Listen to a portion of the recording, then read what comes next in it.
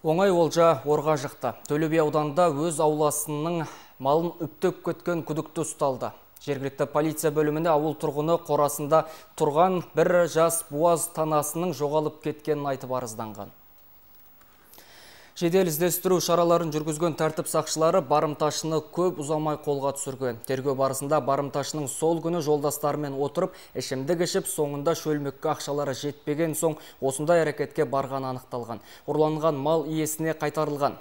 Қазіргі уақытта аталған факт бойынша сотқа дейінгі тергеу амалдары жүргізілуде. Полиция қызметкерлері мал ұрлығының басқа да осыған ұқсас қылмыстарға қатысы барын анықтауда.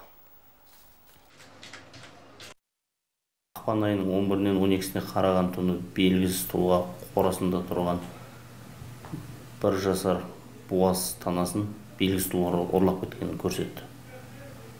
Шұғыл іздестіру жұмыстарын жүргізу барысында ол малды ұрлаған күдікті ұсталып құрықталып қазіргі таңда қылмыстық іс бойынша сиыр айғақ зат ретінде алынып қылмыстық сотқа жолдану жоспарлануда.